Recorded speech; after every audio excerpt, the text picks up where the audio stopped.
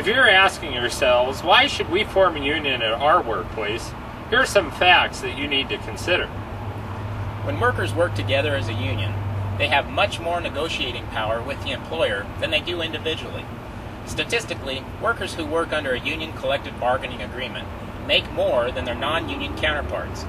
In fact, according to the Bureau of Labor Statistics, in 2009, union workers made an average of 27% more than their non union counterparts.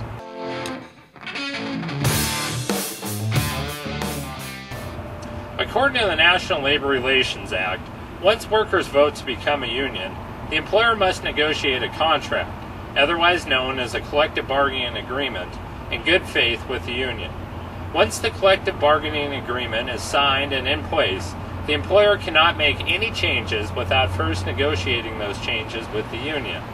An IBEW collective bargaining agreement spells out in writing such things as wages, insurance, retirement benefits, holiday pay, vacation time, and seniority. The contract also provides for such things as sick leave, jury duty, funeral leave, military service leave, hours of work, overtime, safety regulations, and other conditions of employment.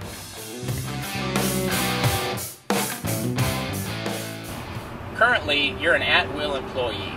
This means your employer has the right to discipline or terminate you for any reason, even a bad one, or for no reason at all.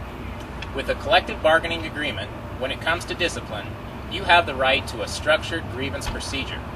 This means management must prove they have just cause, according to the collective bargaining agreement, for any disciplinary action taken against a union employee.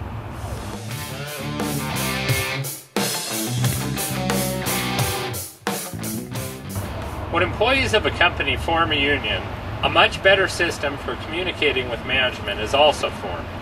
Companies that have unions have a legal partnership between their employees and their managers.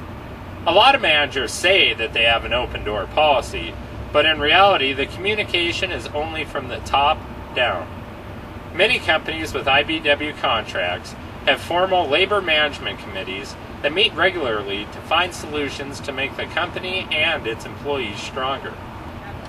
As you can see, by forming a union, you and your coworkers can gain more rights on the job, better pay, benefits, and working conditions, and the peace of mind that comes from knowing that all the terms of your employment are secured by a collective bargaining agreement.